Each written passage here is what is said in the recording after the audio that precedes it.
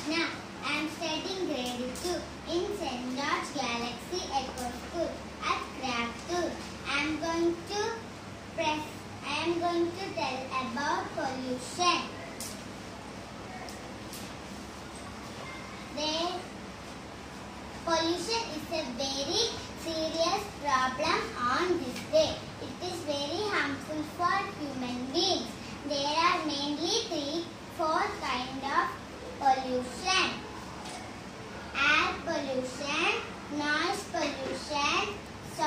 pollution and water pollution.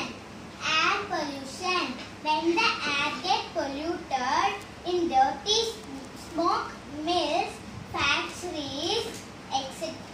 It called air pollution. Causes of air pollution. Use of poison in agriculture. Burning of fossil fuels. Industrial smoke. Effects of air pollution. Global warming. Acid rain. Depletion of ozone layer.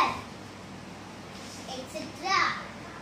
Water pollution. Many factors like industrial wastes is dumped into rivers, seas, etc. It causes water pollution. Causes of water pollution.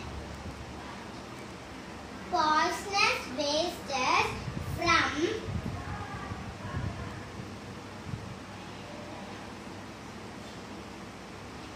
industries into the water bodies. They see it sewage, the waste water is from homes into the